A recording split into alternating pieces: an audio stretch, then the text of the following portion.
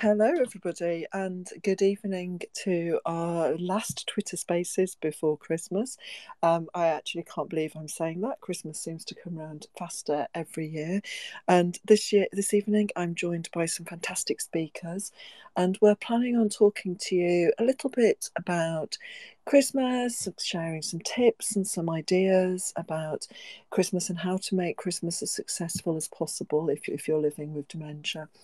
And I think it's it's fair to say that Christmas means many many things to many many people. Um, from you know, obviously it's a religious festival, it's a religious period of observance. Um, it's also a time where families come together and we enjoy food and festivities and um, drink as well. You know, for, for many families, and and it can stir up a range of emotions. And whilst we want Christmas to be a fantastic, happy, joyful period, of course, it can also, for some families, be be quite difficult and and quite challenging and and we we absolutely know that which is why we wanted to do this space this evening to to talk a little bit about that so what i'm going to do is just ask my guest speakers this evening to come up just quickly say hello and a little bit about themselves and then i'll tell you a little bit about how to use twitter spaces and then we'll we'll ask go on and, and have our conversation and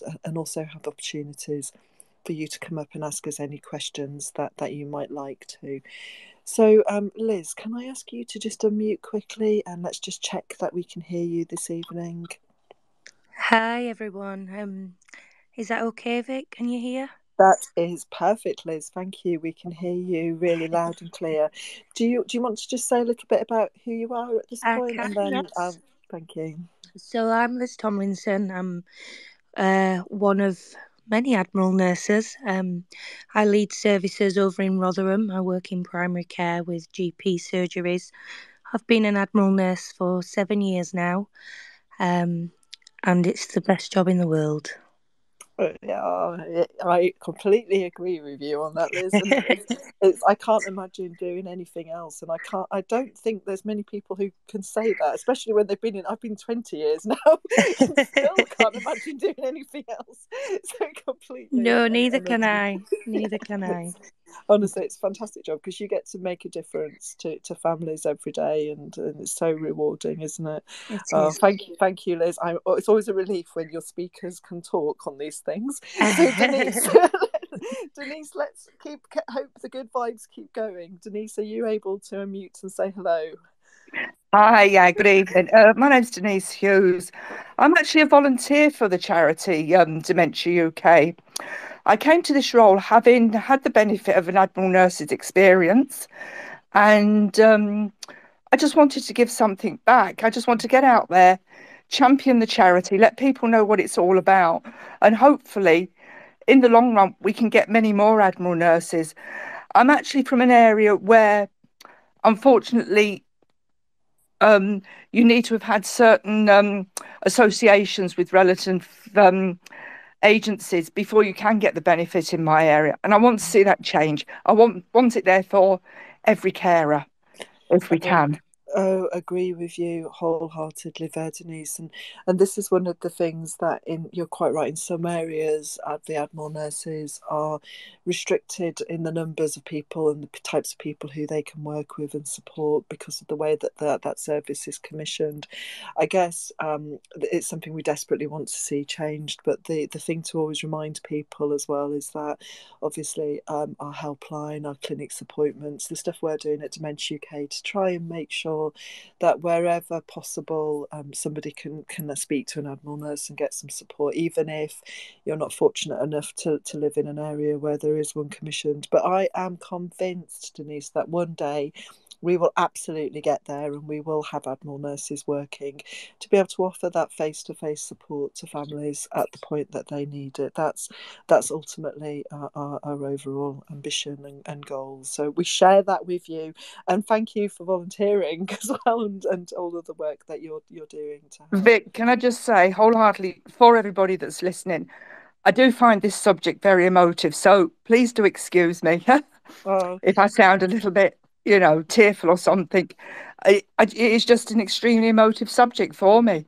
I, do you know, and and I, I completely share that with you as well because it is really difficult, isn't it? It's it's something you're passionate about. I know that, and you know, and and and you know, we I completely share that with you as well. But this is, I know it sounds strange when we're live on Twitter doing this, but honestly, I want you to see this as a safe space, and all emotions are welcome. Um, you know, just just go with the flow, and it's just us having a chat. Just ignore everybody else beneath us. Thank you. it's just us having a chat. Um, and, mm. and and and I get you because I, I I feel the same, and and I often get emotional as well.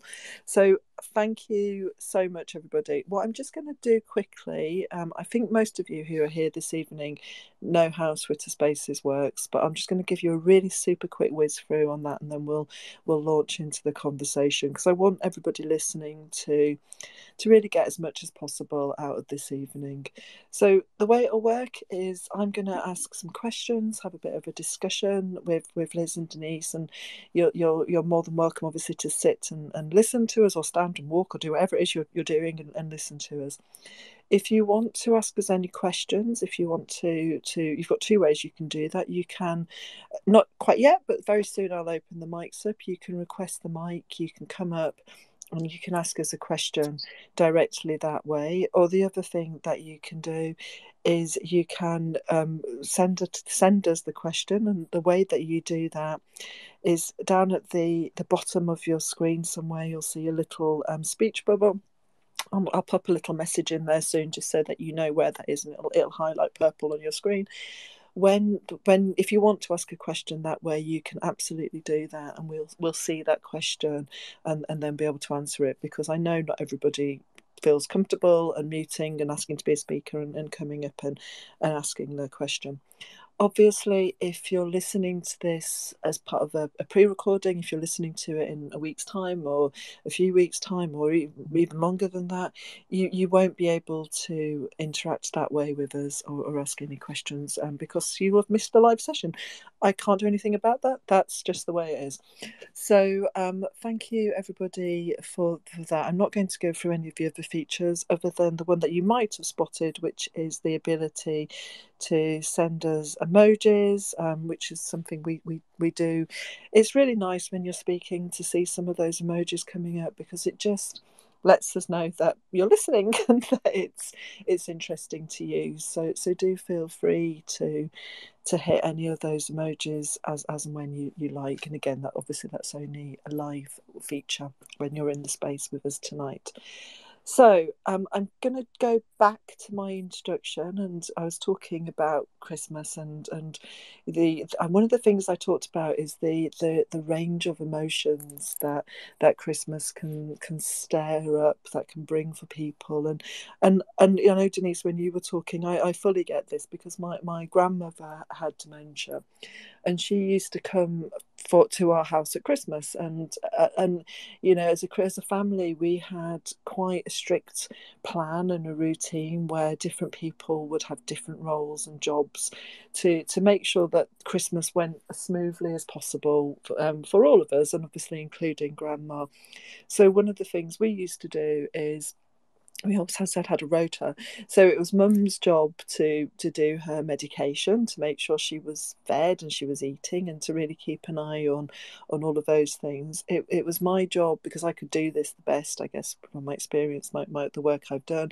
It was my job to um, help her having a bath having a wash having a shower getting her clothes changed um, going to the toilet all of those kinds of things was, was stuff that I did. Um, Dad's role was to make sure that she didn't drink too much because she was always looking for a whiskey or a lager, and you know, and would tell everybody she hadn't had one, and then everybody would get her a drink, and then we, before we'd know it, she'd have had far too much to drink, and and of course that that wasn't something that we, we really wanted her, her to be getting drunk and, and and having too much to drink. So that's some of how we survived Christmas was by having that really kind of pre-agreed routine and plan and, and also that ability to really be flexible if we needed to. Um, you know, I remember one Christmas when she she didn't want to leave the, the care home and get up, and, and I went down and was able to get her out of bed and, and get up. So you, you kind of have to have that ability to be flexible and and these emotions do all stir up at this time of year. And I guess I'd just be interested in asking you both why do you think that is? Um, why, why do you think we get so emotional at Christmas about everything? Or, or is that just me? is that just something that happens to me? And I don't mind who who wants to try and answer that one first. Is I don't mind coming in there, Vic. Um, so uh, I, I'm I'm just like you. I my grandmother was uh, like my mum really, and she brought me up, and and she had dementia. She had mixed Alzheimer's and vascular dementia, and I think Christmas for us was quite emotive um, because of sometimes you reflect and you look back on how things were many many years ago and then to, up to the point to where you are now and you know you have to adapt um, and sometimes you you know you feel emotive for missing uh, what was but we have to make sure that we make good use of, of what we've got now and how to make that um, you know really nice and and settle in and um, just really making it comfortable. Um, and I think we reminisce a lot at Christmas, and that plays a big part on our emotions. Um, I don't know what you think, Denise. I know you said it's a little bit of a hard topic um, because the emotion behind it is, you know, it's it's it's hard, it's difficult, especially when you've had a loved one um, who you feel so emotionally connected to. Uh, well, from my point of view, mum was always the one that sort of orchestrated everything. You know, certainly with the food and, you know, she was there. She'd do things like dress the turkey. She'd always make her Christmas puds, you know, the Christmas cake, and the things that I still do. You know, and suddenly that person that has always been there doing those things isn't with you in the same way. Yes, they're there physically, but it's that mental side of it. Even though, you know, at the point when her health was failing, she was still in a position sometimes to dress the turkey. So she was doing all these little bits still to be involved with it. And then suddenly she couldn't. And I suddenly thought, it's me. I'm doing it all. You know, and suddenly the roles had changed. And I think it's just accepting that that's it. And you just make the best of that situation. And now trying to pass these sort of things on like to my daughter and eventually hopefully my granddaughter when she's of an age that these things can be done you know it's um it's difficult you know and if she's the one that's always hosted and been there and been that figurehead yeah.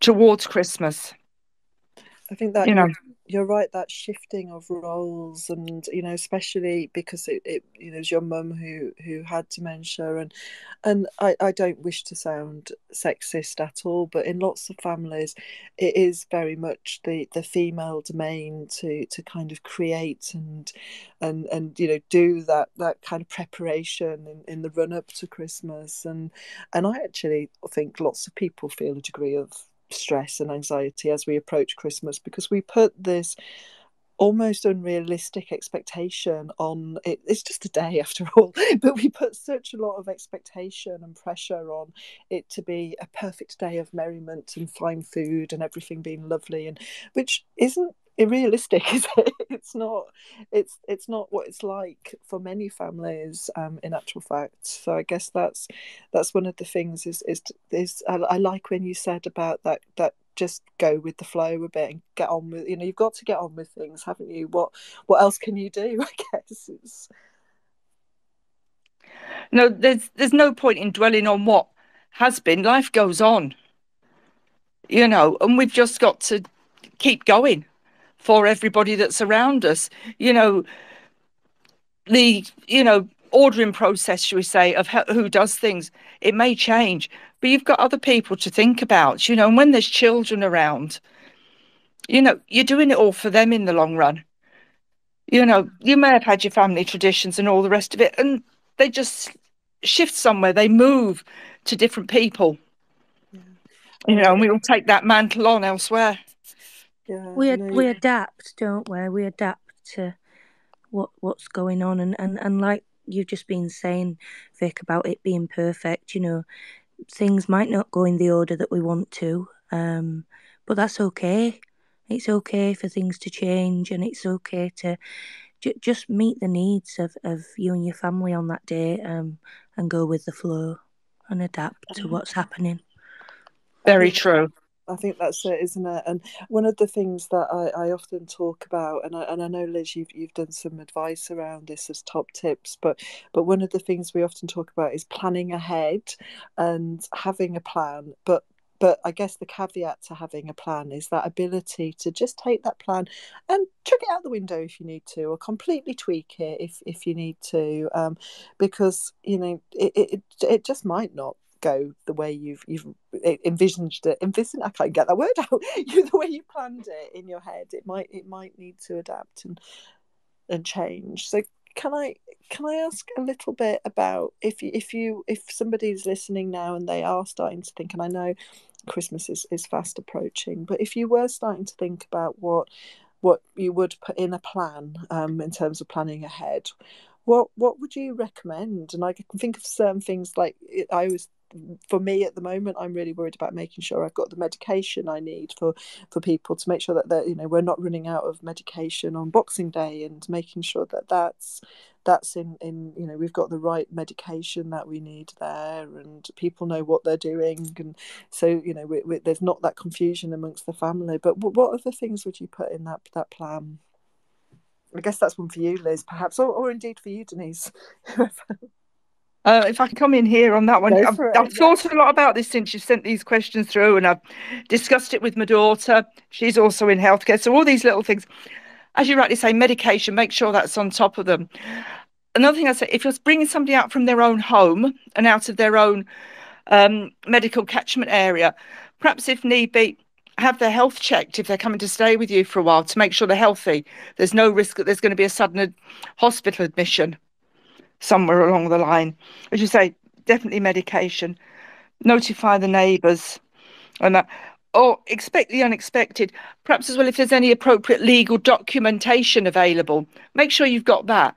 You don't want those sort of things to be spoiling the sort of holiday period you made such a good point there about if someone's going outside of an area because often people do don't they and people can sometimes yeah. travel hundreds of miles to see each other over the christmas period and and actually you know we for all of us routine's important but if you've got so if you're living with dementia you know actually what what do you need to make that shift and that change as as you know as easy or as smooth as possible? Because if you're in a totally different house and you know or, or a house that's less familiar to you are you going to know how to find the toilet how to get where's your room? You know all of these things to just need a little bit of consideration, don't they? And, and and you're absolutely right about making sure you've got the the right any paperwork that you need with you, so that if something you know did happen that you you suddenly needed you you'd have things there rather than them being 200 miles away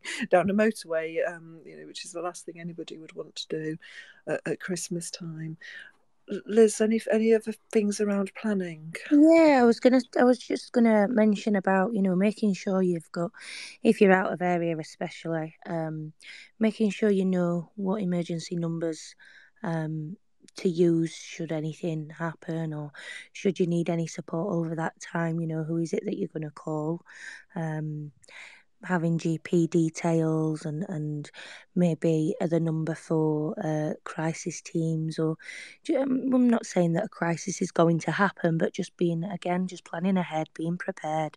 We've got all bases covered. Should anything happen I've got the support there that I need at that time it's, it's so important in, in terms of that plan. I think we've we've said it already, but it, I think it's also important to to be kind to yourself and know what's realistic because you know you you might and, and certainly in my family we we had to get to this point where we, we, you know it was no longer realistic to expect my grandma to come and stay with us for a couple of days and you know and we had to think well this is having too much of a an impact this is getting too too too hard and denise i know you had a similar thing in your family didn't you where you you, you had to slightly change some of the, the, the plans and the way that you you might do things Yes, that's true. What are you thinking about, Vic? Is that with regards to my son? How are you thinking? Yeah, that's what I was thinking because I know it's it's one yeah. of those things. I mean, we're, we we sort of having to think similar things through in my family, and yeah, um, yeah. Um, well, obviously, he had a lot of difficulty actually, sort of coming to terms with it and dealing with it because obviously he had his own issues to deal with. Um, for those that are listening, I'm talking about somebody that's on the autistic spectrum here. Um, as much as he loved his nan and that, he found it very hard to deal with her being around. As it was Christmas Day, he would work. So, yeah, he'd come back in from work and that. He'd, he'd obviously have a meal with us and that. He would pass the pleasantries um, for the day, that sort of thing, little bit of interaction. But he really struggled to cope with it. Um, couldn't go and see her once she was in the home or even at her own home. Um, we had an incident, we'd taken her shopping in for her one day, and he said, I can't do this anymore. And that she's he said, she's looked at me like she's looking through me and doesn't know me. And that really hurt him. And it was trying to justify that. But I couldn't deny him his Christmas Day. I couldn't deny her her Christmas Day. And that so when she was coming to us, we had an overlap of somewhere approximately of a few hours. So she wasn't sort of rushed around and pushed out. It was taken at her pace. You know, they got to see her, but he obviously dealt with it in his own way. He knew I was here for him if he needed to talk about anything and that. But quite often he would perhaps say, hide away in his room and that. I wasn't going to force him to do something he didn't want to. And I think it's just you know, playing it by ear, how do they react? Because somebody with dementia is unpredictable. You don't know, one little thing could be changing the way they're behaving at that particular point in time. And that could upset everybody. So we just had to sort of play it by ear, go with the flow, mm-hmm. and that he's come through it unscathed. You know, I hope he has anyway. It's um but it's just preparing and preparing somebody like him that this is going to happen this person is going to be there yeah and i think that's it and the, the reason that i kind of uh, asked you about that now is because i think when you, you know when you said earlier on about other people as well because you know for many of us christmas involves a number of people doesn't it? And it's actually what are their needs what do they want what does what does good look like for them? Um, how can we make this this this day as positive for all of these people involved and, and and it can be really quite challenging actually when you've got different needs. And and I, you know and, and I, I think one of the things you said earlier about was uh, allowing him to to go to his room if he needed uh, you know kind of providing that that quiet space that that place where you know you don't all have to be together all the time.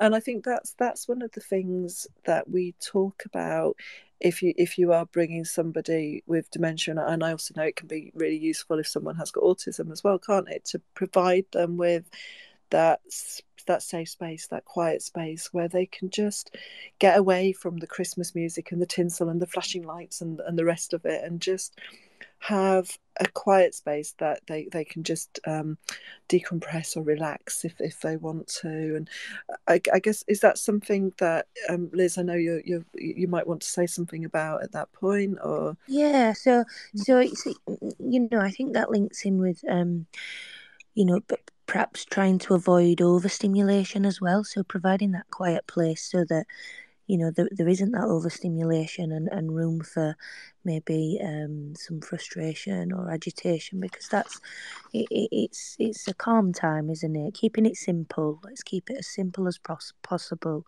And just reiterating what you say uh, Vic about being kind to yourself. Um, I think we are always uh, really hard on ourselves to try and make things as perfect as we possibly can but sometimes you know it's it's just not it's not possible. Um it'll be perfect for you and it'll be perfect for um your loved one um j- just being together um and just having that comfortable time um around one another and around the family I think you've said two really important things there, Liz. So one of the things that you said that I loved was when, when you said keep it simple, because we, you know, it, we, you, it doesn't have to be everybody in the family coming around for hours, and you know, and it, and it doesn't even have to be great big plates full of food and candles and all of the, all of that, does it? So you know, I guess keep it as simple as possible. And and the other thing that I really liked that you said is about avoiding overstimulation because we know, um, don't we, that you know if, if, you've got dementia and you've potentially got visual disturbances or you know flashing lights, music, lots of people talking, that might be quite hard to to deal with, and, and for anybody it can actually. But certainly if you've if you if you are living with dementia, it's it it, it might be too stimulating, too much noise, too much interaction, and and actually sort of take taking those steps to to avoid that overstimulation and, and keep it simple might actually really help or go a long way to providing a, a you know a, a, less stressful Christmas perhaps um, as, as, you go through that period. Denise, Oh, it was Liz who were muted. Sorry, I thought it was Sorry, no, I was on. just going to touch again, Vic, on you just said, you know, don't don't overfill plates. Um, I think that's really really important. Um, not overfacing people, you know, little and often. Um, let's nibble through the day and and you know just just keep our energy levels up ours too as well as our loved ones keep our energy levels up and you know just don't overface people because it's likely that you know that they'll they'll eat a smaller plate than a bigger plate, and making sure that plates and things are uh, plain in colour. Um, to, to, to make sure you know the contrast and things because we know that sometimes spatial awareness and vision and things are affected by dementia so having a, a plain plate uh, makes it much easier to see uh, different foods that are on there thank you for for adding to that. And i think again you know if i think about what a christmas table might look like um, and again this is going to be different for every family and you know and, and but some families you're going to have crackers and party poppers and tinsels and candles and centerpieces and many knives and forks and I, I, I don't know. That's that's by the way not my family but in in the in the ideal world that's that's what we we aspire to a degree isn't it? And, and actually that can all of that can mean the table looks very very busy and very very confusing. And and that's going to overstimulate somebody as well. Denise i'm sure i saw your mic unmute am i right? I so. yes i was. One thing i was going to say sort of about planning ahead and that and talking about different people, you may have somebody that's coming for your Christmas day that perhaps isn't aware of how your relative is like what they're likely to behave like. So perhaps warn them that perhaps they could be a bit blunt in what they say, a little bit acerbic in some of their comments.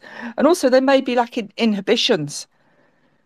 You know, if somebody else isn't used to that, they may take offense to it when in fact it's unfortunate. It's just something that happens because of the nature of that disease process. I think that's that. Yeah, that's a fantastic um, addition as well because it is important, and and we know, don't we, that you know sometimes families don't see each other from year to year or from month to month and and that's actually if you're if you're not pre-warned what you're going to see or what that person might look like or how they might have changed in in that period it can be one of the things that certainly I, I remember in, in my family used to sometimes cause a bit of friction because people would come and say, Oh, I don't think she's doing very well at this, or have you tried this, or maybe you should try that. And it, it used to cause I, I don't think my mum would mind me saying this. I'm going to say anyway. I think it would it used to cause a degree of um, frustration because you know the, we're here doing this this caring role day in day out, and you've popped up and you've not been here for ages and you're giving all this advice and and it can sometimes be be well meaning but actually quite quite hard at times if you I guess it's about making sure people are prepared and they know you know as much as possible what what to expect. Can I ask you as well? So one of the things I was I was thinking about um, in, in preparation for this is around uh, on our, our helpline. We often see an increase in calls after Christmas, and lots of people phoning us exactly because of what I was just talking about. They've seen their loved one over Christmas. They're suddenly aware of changes, and and one of the things that I always kind of add here when when I'm thinking about this is actually if somebody if you do notice changes in somebody, um, and it's over the Christmas period, I guess it's it's just thinking through what might be going on for this person, and some of it we've talked about earlier on. So somebody taking their their medication, have they got the medication as they needed? Are they overstimulated? Are they drinking too much? Are they not eating enough? Or are they eating too much? And is is that causing some uncomfort? Are they in in pain? You know could that person have an infection or something? Or or is there some other physical change that that's going on? Um, for example you know maybe someone's forgotten a hearing aid and then they can't hear properly or or are they suddenly having hearing difficulties? And and because I think all of us, our behaviour changes a little bit over Christmas, and we we all act a little bit differently. But if if you see those those changes, it's important to just try and work out what might be going on and, and is there sometimes you know is it because you you know that there's something happening that that's led to that change and i don't know if either of you want to to add anything more about that I think just on that, Vic, I'd like to say perhaps once they get back into their own own environment, reassess them again. Then it could Perfect. just be the environment that's changed.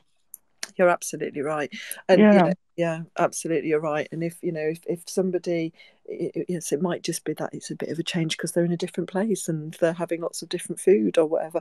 And and don't make any sudden changes yourself if you can. Don't I, you know sometimes people ring us up and say oh it's been really hard. I think i'm thinking care home and you think well actually just wait a minute just to see what happens in in a, a week or two. You know see if things settle back down again once all of the Christmas um, madness has subsided a little bit. Uh, um, so thank you for that, Denise. Can I? Sorry, Liz. Did you you wanted to say something? Oh yeah, sorry. I was just gonna I was just gonna touch upon. Um, again what denise is saying about environment and things because what, what we sometimes need to remember is that when we take somebody out of a place that's really really familiar into somewhere that's not familiar and have to sort of relearn that in a very very short space of time that's really confusing and mm. frustrating and it and it you know it's it's very likely that it is going to make somebody feel a little bit different to what they're like in in familiar surroundings um and and just one more thing obviously with my clinical head on um just making sure there's you know no infection? Is the is the behaviour changing due to infection, urine infection, chest infection, anything that's going on there? Which again reiterates making sure you got the right numbers. Um, the right telephone numbers for people that you might need to be in contact with over the festive period. Yeah, you're you're so right. Thank, thanks for saying that, Liz. So, um, can I ask you a couple of questions, Denise? And, and, and I'm just going to also ask if anybody does have a question they'd, they'd like to ask, feel free to to, to, to either pop it in the chat box or, or just unmute and uh, you know I'll request the mic and, and come up and we'll, we'll try to answer any questions that you might have. But Denise, I know you've spoken a little bit about um, your experience of, of Christmas with your family and and I know that um, you're a nurse and I, I know because you've told me already that that both um, your, your mother and your father actually had dementia and can you can you tell us a little bit about what, what Christmas looked like in in uh, in reality for your family? I know you've touched on some of this earlier on. Uh, well, with our family, obviously, we sort of moved into this area um, shortly after I got married. So we've been up here sort of a good 30 years now. But prior to that, obviously, we would live down, um, we were down in South London area. But all our family was around us, and Christmas was always, we'd always go to somebody's house, somebody would always come to us. Mum would always put on this massive spread of food. You know, there'd be food to feed the 5,000. You know, she loved catering and that. Um, to the point, obviously, when she was younger, a teenager, she turned down an apprenticeship at the Savoy. So food was in abundance for that. Um, one of her brothers was a, a steward at a golf club, so we then reverted. We were he would open that up for all of us on Christmas Day. Um, we'd go down there. Mum would help all the catering, and that she would sort of orchestrate all of that, and literally all the families would be together. It was wonderful. And then when obviously we moved, everybody have sort of got older. It just came down to Christmas was my mum and dad, my husband's family. Um, quite often they weren't with us, um, and just the children. But we did it for the kids at that point. But she still catered as if there was the five thousand to feed, and that. And she loved doing it. That was her thing. She loved cooking. She loved being in that environment. You know, she um that was her forte, food. Mm. That is the easiest way to, you know, put it. We we had fun family times, parlor games, you know, when we were down south, we'd always play them. Um, you know, all those sort of things that we just kept going with. Um, it was uh, they were lovely times. They were magical times, as all Christmases were, you know, and you always remember those as a child, you know, how things used to be. And over the years, it all changes. And hopefully, I've made some of those memories for my kids oh, in the long run. I'm sure I'm sure you have because the Christmas that you've just described it, it you know it, it, they sound so wonderful and I think that just captures the magic of it actually and I think mm. and you're you're right Christmas it, it is for the children and and and I'm not going to say I'm some kind of bar humbug but you know it gets harder to find that Christmas spirit doesn't it because it's you know yeah. it's it's it's it's very much for for young children and you know teenage children seem to and I know some adults but for many people it gets a little bit harder um so in terms yeah. of once mum had because obviously once mum had her diagnosis was she still able to participate in in helping? I think you said she dressed the turkey early yeah no unfortunately once she she got a diagnosis and she was put on um, medication and she didn't tolerate it it seemed to accelerate the disease process as opposed to slow things down. So um, within about within five months or thereabouts of diagnosis and being put on medication she had deteriorated quite considerably, unfortunately. So that was the only Christmas we had before she went into care. And she obviously came to me. We had to look about how to get her into the house because um, at the front of our house we've got a step but with no grab rails. So I had to sort of take her around the back, so to speak, to the tradesman's entrance, where she just had one door where she could get in, but she could hold either side of the door and the door frame to be able to step up. Um, so that was it. It was just the planning of how to get her in and make sure, obviously, we got all her equipment that she needed and things like that um, to facilitate the smooth running of the day. Those sort of things. That is so important, like you said about making sure you've got the equipment, and it's that that's mm. that preparation again, isn't it? And can I ask you at that point? And I know you've mentioned your son already, but but how old was was he when at the, when and what what support did he have? Um, well, at that diagnosis, as soon as we got that, we were referred to another charity for their help and support. Um, I don't want to say too much, but I wasn't very impressed. But he got one to one counselling with somebody from there. But the information they came out with, it was a lot for him to sort of sit and read, and he couldn't cope with it. He struggled to deal with it. So I just obviously had to let him come to terms with it all in his own time, give him information as he wanted. You know, there was no point me forcing him to accept this situation. He had to deal with it in his own way. And I was just there to support him at that point in time. It was within um, the January after that Christmas of her diagnosis that we actually met our Admiral nurse. And I felt that the literature that we were given at that point was more user friendly. Previous charity, we got A4 sheets and that, and it was a lot to wade through. Whereas, obviously, Dementia UK, their leaflets are, as I say, they're user friendly as far as I'm concerned. Oh, the information is concise. Yeah. You know. That honestly that's great to hear and because we, we work really hard on on trying to make sure that the, the literature that we, we provide is user friendly so so i'm really pleased to hear that. And i guess what how old was he at that point denise um he would have been 20 right 24 at right. diagnosis yeah and it is it is difficult um you know it's at 24 because you are you uh, whilst you're a, a, grown-up child you're still you're still very much um a child aren't you as well? And and and, and that relationship that he had was one of a child with his grandma. So it's you know it's yeah she was actually very instrumental in their upbringing.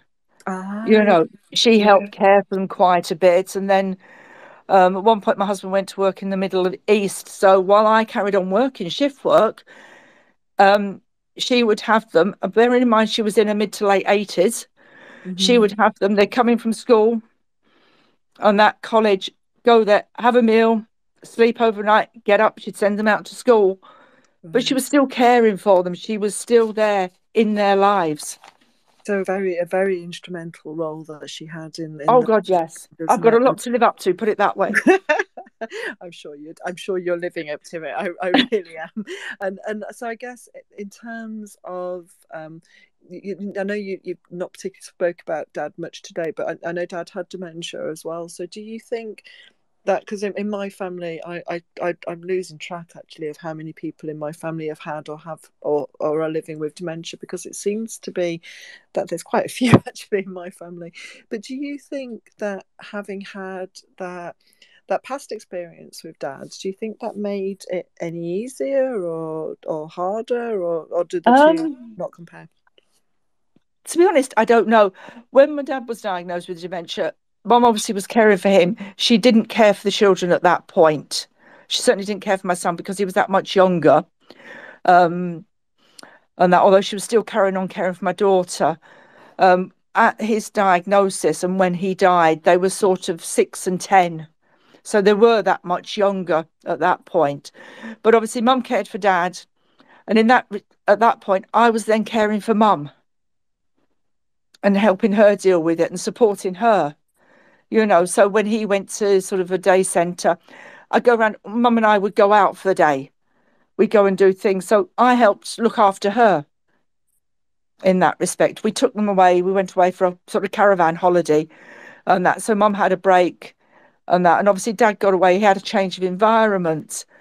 Um, so it was a very different sort of situation. And I mean, that was well before Dementia UK was even in existence.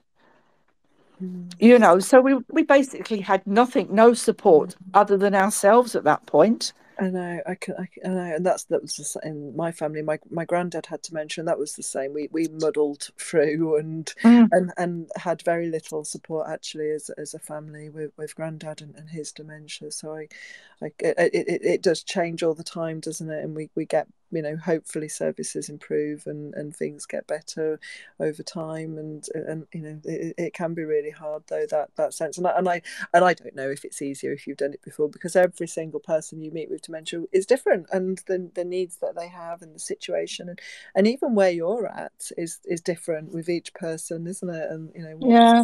what you're dealing with. So as always I must Vic oh, can I just say I I always say Sorry, I'm overriding. No, no, no, no, I always say that, you know, when I started nursing, it must be the same for obviously some of you and your colleagues. Um, you know, 40 odd years ago, you'd walk onto a ward of 30 patients. What was dementia? You were lucky, perhaps you had some people on there, one or two people with memory issues. Very lucky if you actually had somebody diagnosed with dementia. Yeah. Whereas nowadays, you walk onto a 30 bedded ward and you've got 95% of people with dementia.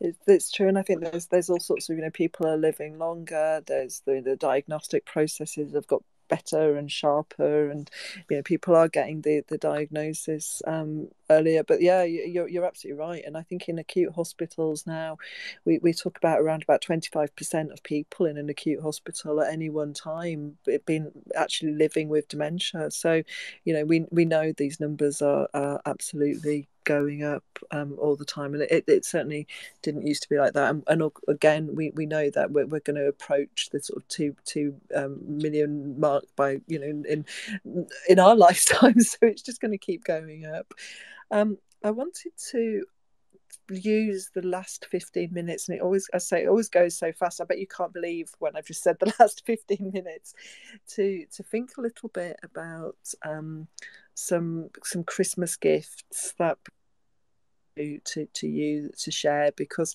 this is one of the things that I, I I'm a bit interested if you're going to give somebody a gift make it a meaningful gift make it a gift that's going to potentially help them. So in, my family I, i've re- gifts for people that I'm hoping are going to really help. And and, and I thought it'd be just useful to perhaps share some of those um, for, for people listening to, to us tonight talking. And so the ones that I like that I'm, I'm just going to share quickly is I, I've I'm a really big fan of the clocks with um, name with dates and you know with the, the day of the week and the time there and whether it's AM or PM and you know I think these there's some people they, they get called dementia clocks sometimes they get called orientation clocks and and you can get them online you can get them in Lidl there's all sorts of different brands available but but I think those clocks make a really good gift because they really help with orientation and somebody being able to look quickly and, and get a good sense of what what sort of time of day it is and, and where they're where they're at.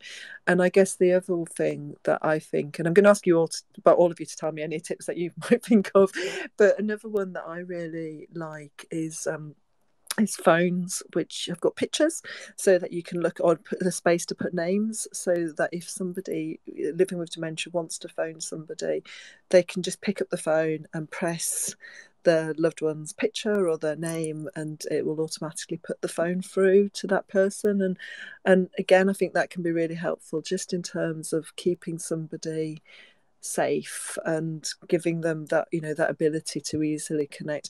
Now both of those things cost money and I guess the other thing to say that I uh, another idea that I absolutely love is just you know sort of rummage boxes, stuff that you can put together that doesn't have to cost a fortune, that somebody with dementia can just have a have a look through and play with and find different things to interact and and pick up and you know and and and I say play with. Because though the, the rummage boxes can be really good to keep somebody busy to keep them entertained to keep them distracted and and to help reduce any anxiety that they might be feeling. Because they're not maybe not sure what they're supposed to be doing or you know just just what to do in general. So so there's some that i would give as as being really good gifts, but I know we've all got different ideas about what good gifts are.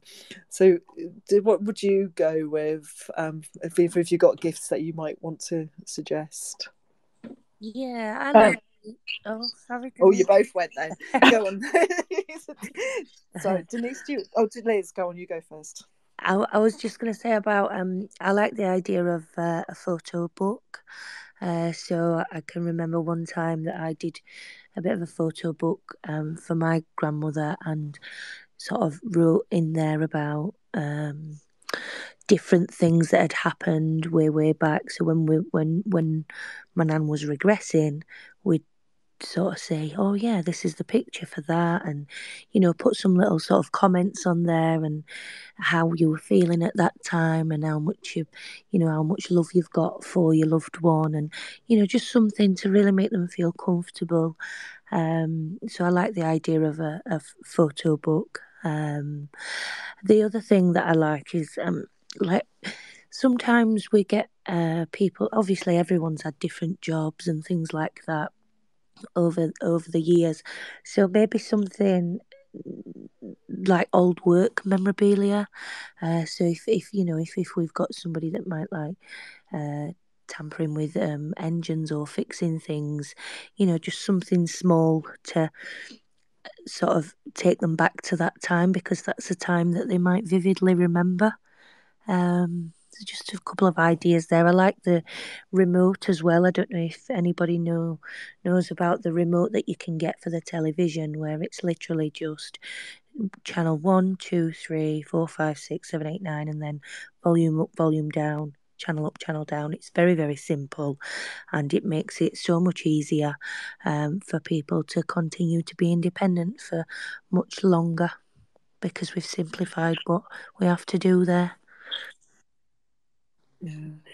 I, I love that idea, and I, I, I, I remember I forgot about the remotes, but you've, you've just reminded me there how, how good they are. Um, I'm, I'm going to ask you to pop one in in a minute, Denise. But we've we've had another suggestion from somebody who who I'm, I'm always pleased to see in our spaces because they, they do I know join us on a on a regular basis. Who's, who's mentioned about um, picture calendars, and and I, I completely agree with you. I think they're a fantastic um, gift for somebody because it can help to just orientate someone to that the, their loved ones to see those pictures to see you can even put birthdays and all sorts of dates on there there to, to help um, somebody to, to see um, you know their, their loved ones as they go through the month. So thank you very much for Noir Spaces for, for that recommendation. Denise, what would what would you put on the table as a good gift? Um, the things that I was sort of getting my mum, obviously, it was things like clothes. And certainly when she went into care, it was clothes that were easy for them to use, like cardigans rather than jumpers. You know, thinking of making things easy for them to get dressed and bits and pieces like that. Perhaps depending on what they're like, do they like to like a few smellies, something like that, hand cream, little special bits like that. As you say, photos are always a good idea. Um, a perpetual calendar was something that I got my mum at one point to try and keep her orientated with everything. I sort of got a calendar as well that I could write on to say what was happening on a day to day basis and who was going in you know, was she going out? Where was she getting the meals from? To try and keep her orientated a little bit. Don't think that worked as well, but everybody's different. But Vic, one thing I would say, obviously, you talk about the dementia clocks. If they're speaking clocks, I I would have concerns if somebody hallucinates and they felt that felt there was somebody else in that house. It may cause distress. Yeah, you're, you're right. And, and in any gifts, you've got to you've got to it's got to be personal. It's got to work for that person, and you know, and and the, and I, have not actually used the speaking ones. I've just used the ones with the the images on them. But mm-hmm. but in in any gift, it has to be something that that is going to be meaningful and helpful to that person, um, isn't it? And and I guess you know, some people even pictures could could do that. They could you know, could confuse yeah. you about who's been in the house and and what's going on. When you were talking about um, calendars and and notices, so one of the things that I I use as well quite a bit is whiteboards. I'm I'm a big fan of of a nice whiteboard with you know, and and I guess that's something you could quite easily and cheaply make it look more attractive if you wanted to, and you know, and, and have that there so that you can write messages or you know call Jane or phone, you know whatever you want to write on that whiteboard. Take your tablets. Um, so and so's coming to pick you up at one o'clock. What whatever it is, um, and then rub them out every day, can't you, to, to help as well, or you know these these these kind of memory boards or whiteboards with tasks on or you know just just or just nice memories that you want them to to see you know you could write everybody loves you on it. It doesn't have to be a task. Um, you know that that could be something that that that's helpful. Um, and anything else that anybody's thinking about that might make a good gift? I think perhaps the big thing is the key is is if you start changing bringing too many things in it's that change aspect which they perhaps can't deal with. Mm being yeah. aware of that, how they're going to react to the change situation. Yeah, you're you're right. And I, I mentioned earlier when I was talking about rummage boxes, and one of the things that I often say with those is you just or or you know I know people use dolls and teddies and twiddle mitts and all of these sorts of things that are of course out there that that might be helpful, but you you don't you don't have to necessarily I know it's different at Christmas, but just sometimes introduce something to someone's environment and see if it makes a difference, see if it it changes any anything. You know, it's it's nice to give somebody a gift, but sometimes you might think, actually, I'm just going to introduce this into their space now, and I'm going to do it now because it's Christmas. But I'm just going to introduce it and see if it if it helps and if it makes a difference. Um, so and I guess any other gifts that people can think of. I know that we've had a comment from Helen who said, um, "Oh, it's a recommendation um, for Christmas, and that's around recommending shortening the festivities if a person gets confused easily." And um, and actually, you're you're absolutely right because if somebody is getting confused and if they're getting if you can see that they're being overstimulated it's too much just reduce the amount of time that that you spend and with somebody because people we can all get tired at Christmas. It, it can be a really tiring time. So so you, you don't necessarily need to see the person for hours and hours or for a whole weekend. Sometimes actually ten minutes is enough or half an hour. You know, just just do what what feels right so that you can have that period of joy that period of happiness um, and and not necessarily think that it has to be all day and, and for hours because I know you'd asked about recommendations to help it less tiring or confusing with somebody with dementia so that's that's some of the things that, that I, I would think about um, in terms of helping that. Liz, is there anything that to Helen's point that you you question that you'd like to add to in terms of how to make it less make it less tiring for somebody? Yeah, just just small amounts of stimulation, you know, perhaps dipping in and out again, like we touched upon earlier about making sure that um, uh, whoever you're with, you know, the, they've all got a little bit of a role because sometimes it can be, um, you know, tiring for for us too. Uh, so making sure that everyone's got their own role within this. Um, yeah, cutting if if it needs to be that that times are cut a little bit short, that's absolutely fine. Um, but we need, you know, sometimes it's nice to just uh, be with somebody, maybe on a one to one, so the quiet space, you know, keeping um keeping stimulation to a minimum, and yeah, if, if it needs to be cut down the time, that's that's absolutely fine. That's no problem. Whatever works, I think. I think that's the key. Whatever works, you'll find what works for your loved one. You know them best. Thanks, Liz. And I'm just going to read out another couple of messages because uh, they might be useful for other people if you've not seen them.